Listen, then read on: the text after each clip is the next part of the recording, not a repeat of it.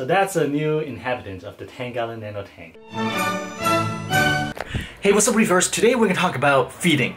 Now, I wouldn't say feeding is a controversial topic. Actually, it is pretty controversial. But I tend to feed very heavy. I could get away with this because I have been feeding heavy right off the start. So my bacterial level and the macroalgae refugium is able to handle the load. At the moment, I'm still dealing with zero nitrate and zero phosphate, which is not good. You always want a little bit of excess so you know that your tank is using enough. Because when you're at zero, you don't know if you have just enough for the tank or if it's really severely depleted. So you always want just a little bit. With that said, I have three methods that I use to feed my tank and here they are.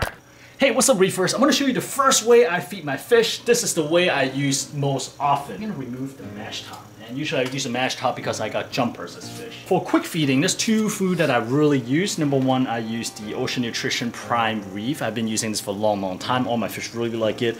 And if you look at the ingredient, um, actually the crude protein is really high compared to other dry food. Not sponsored in any way, I just really like this product. The second one I use is the NYOS Wild Goji's, uh, funny name. Marine Depot actually sent this to me to try out and the fish actually really like it and it's really easy to feed so I've been using this as well. So let me show you how the fish react to these food. Prime Reef is a flake, right? And I usually just grab a handful like this and then take a look at the fish reaction, ready? And I'll wait for the wave to come up and I'm gonna dip my hand in and release. Whoa. And that's actually a lot. Usually I don't eat, feed that much. Usually Emily feeds this much. Stop blaming me. Take a look at all the fish kind of going wild, huh? Even the gobies. Look at the look in the back, the gobies back there. Even those, they look for them and they dart out to go for the food. And usually these Yasha gobies don't venture that far out from the barrel, but for these flakes, they'll make an exception. Now let's take a look at the NYOS Wild Goji. The, this is slightly different. This is the pellet forms. I'm not sure if you can see it here, but I'm gonna grab a pinch like this. And I'll just, again, dip my finger in here and just release them. And I like to dip my finger in and release the fruit because like otherwise the fruit may remain in the water surface and get sucked into the overflow right away and that kind of defeats the purpose. I'm just creating um, excess nutrient and the fish and corals are not really benefiting. Look, even the, even the grande is piley grabbed a flake and is eating. How crazy is that? So guys, that is how I usually feed my fish, not in that volume, a little bit less, maybe uh, half that. But I'll feed that every day that I'm not using my second or third method of feeding, which I'm gonna show you next. Let's go. The next day. Alright reefers, so for the second method I use to feed my tank is broadcast feeding. I pretty much exclusively use the Reef Nutrition product. Now you may be wondering, oh, is it because it's sponsored? Yes I am, but uh, before I got sponsored by them, I actually won a bunch of the products through a Reef Club raffles and I really loved them and they actually lasted me for a long long time and then they reach out and I was like okay yeah of course like because I really like the product. That aside let me just kind of walk you through what I feed. This is the line of products I got from them. Phyto Feast, Oyster Feast, ROE, Arctic Pods and Mysis Feast and I line them up in order of size.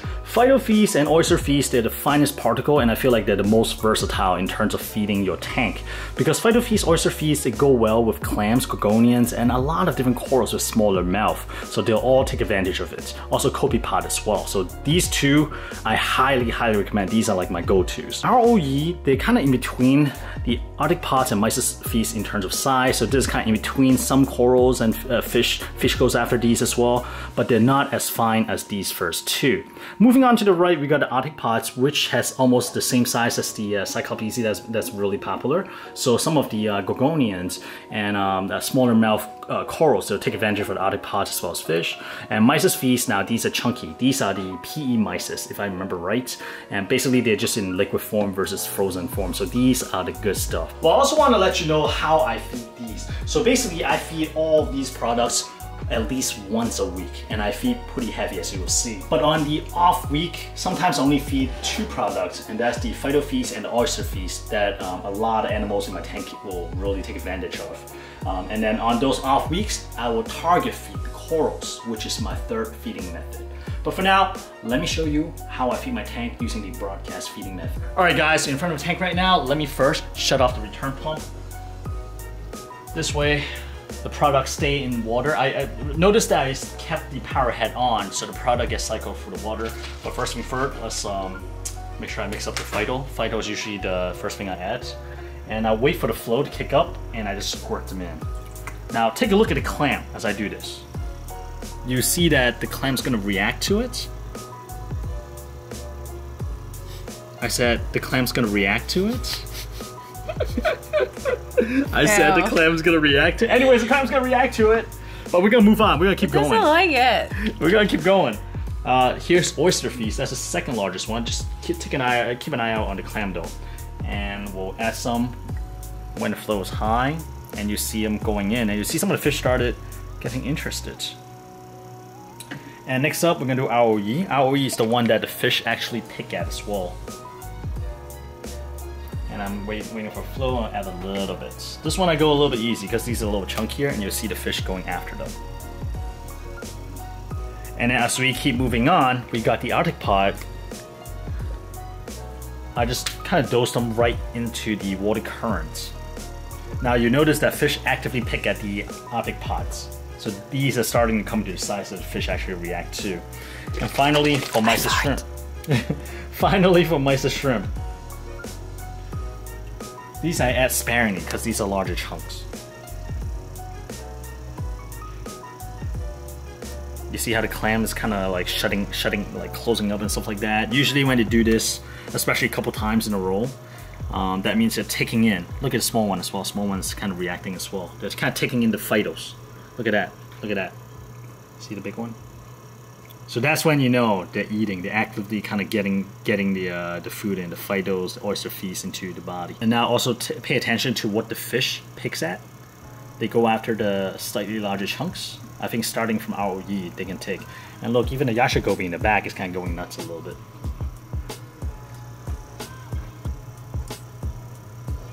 we scared them, but look at the, the crab. These crabs are bold. They smell something in the water, they're waiting for the food to drop, and they go after them. But usually, during this mix, you start seeing some of the corals, especially the mushrooms, start closing up into a cup like this to help them catch. Same thing with the fathead dendro. Usually, the fathead dendro, um, with this kind of feeding, able to catch some of these mysis shrimps, and uh, they should be good for a couple days. Same thing with Bob. Bob is surprisingly good, the aiptasia, at catching food by itself. But I will let this run. Notice how we turn off the return pump and it's gonna be off for about 10 minutes. And usually I'll turn off one more time. So for about 20 minutes, the water in the display tank just kind of keeps cycling in, giving all the fish, all the corals a chance to really capture all the food. And after 20 minutes, the water is gonna start going through the entire system and it will in turn feed the refugium and stuff like that. So I do this kind of heavy feeding, sometimes twice a week. But other times maybe I'll just do this once a week and then I'll do uh, just phytos and oyster feast uh, the other time of the week. Uh, and kind of like partner that up with target feeding my corals, specifically the fathead dendro and the uh, sea anemone because like usually they, they, they, they like eating chunkier food, not just like this because like this way they catch some but not a lot. So that is how I broadcast feed my tank. The second method. Next, I'm gonna show you how I target feed the corals and what kind of food I actually use for target feeding. Talk to you in a few days. Three days later. Alright, reefers, here's the third method that I use to feed my fish, and for that, I typically use the LRS Reef Frenzy, and that's another secret weapon that I use, but check this out. Did you see these awesome looking magnets? Woo! Also, shout out to Mr. Billy Pipe. The second ingredient I use is Reef-Roids. OK。Okay, so I mix up the LRS Reef Frenzy with the Reef-Roids. I use this huge, long turkey baster to suck up some food. I turn off the flows already, so there's no flow. First thing I usually feed is actually the anemone, because I know the clownfish is gonna go after whatever it is I feed. So I'll feed the anemone first. Alright, mix up. I'm gonna feed the fathead dendro right behind the clam right there. And I do that because like the fathead dendro actually eats pretty quick, so usually I can get maybe two or three rounds of um, feeding in before I stop this entire thing, meaning that they'll kind of pull the food into their stomach a couple times as I feed the other corals. There you go. That's a big chunk. And sliding over here, we're gonna feed the acants, and the tentacle's not totally open yet, but they're starting to because they smell the food in the water. But we'll do the best we could for now. And if some food escape, that's totally fine. The fish and other inverts just gonna take it. So other things I want to feed are the kryptonite candy cane, but again, the tentacle is not quite open yet, so we'll see if they hold on to the food. Yeah, we may have to circle back to these guys because now that they smell food, um, they're gonna start opening up, opening up more. Now, one interesting thing I feed is actually the zoas. Uh, certain zoas I got, they have pretty long tentacles, like these guys right here, and they do tend to grab onto food. Maybe not today. Oh, some of them are closing up. Same to Sunny D. And I'll have the same zoas at different part of the tank, and depending on how high up, how strong water flow, they behave differently. Some will react to food like these, but others would not. Okay, another thing I like to feed are the frog spawn. Some of you guys ask, oh man, how, how come your frog spawn and your phillies in general grow tend to grow a lot faster? Um, because I feed them. I feed them pretty heavily. Uh, as you can see, some of them are growing out of the water. I cut the return flow so the water level is a little bit lower. So they kind of peek out of water a little bit. But I do like to give them some uh, fine food as well. Most of them being mysis shrimp because they're probably the right size for the mouth. I don't think they will take like large chunks of food, so I try to avoid those. For those, I'll just feed them to over to. And you see down here, you see how the kryptonite candy cane is kind of pulling the food into the mouth now. Not really. Follow me real quick upstairs. Come on.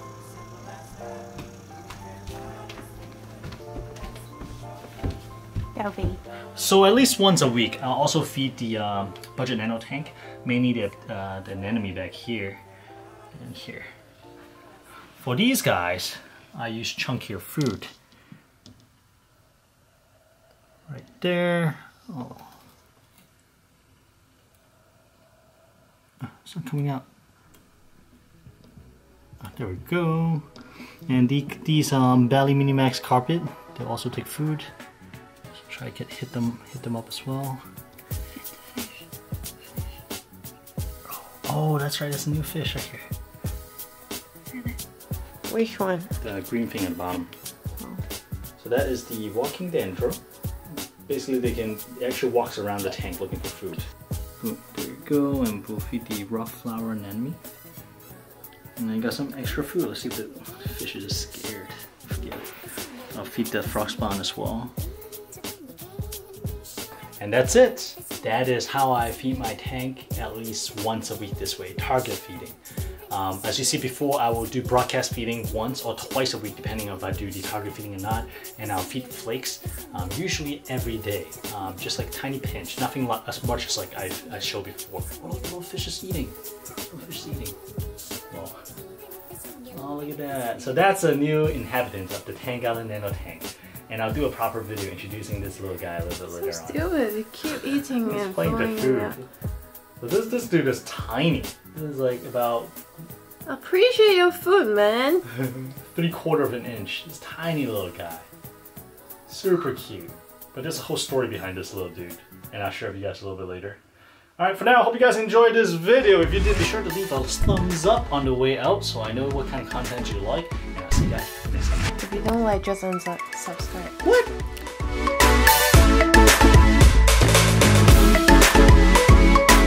But I can't get them off without breaking the rack.